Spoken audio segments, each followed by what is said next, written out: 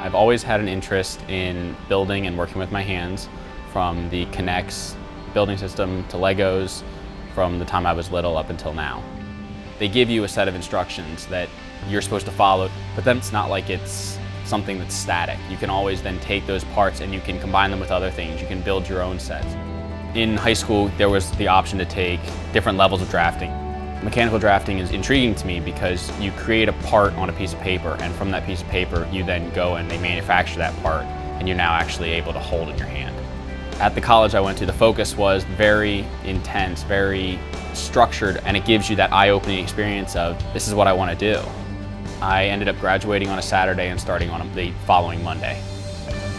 My degree in computer-aided drafting technology allows me to work directly with an engineer or a designer to create parts from that, the different operators and machinists will create their programs for actually manufacturing that part that help in the production of glass products that you use every day from bottles to car windshields. And we have resources and facilities in England and China and Mexico. And at any given time, I can communicate with England instantaneously.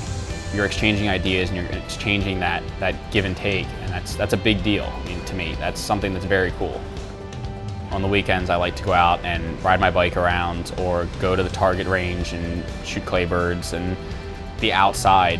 With my two years schooling that I had, I wound up without any debt when I graduated. Because of that, I was much more fortunate than say some of my friends that are going to the typical four-year school that are going to be graduating with, you know, forty, fifty thousand dollars or more in debt. And to me, I find myself in much more of a financially sound position than they do and that's huge for anyone, especially nowadays.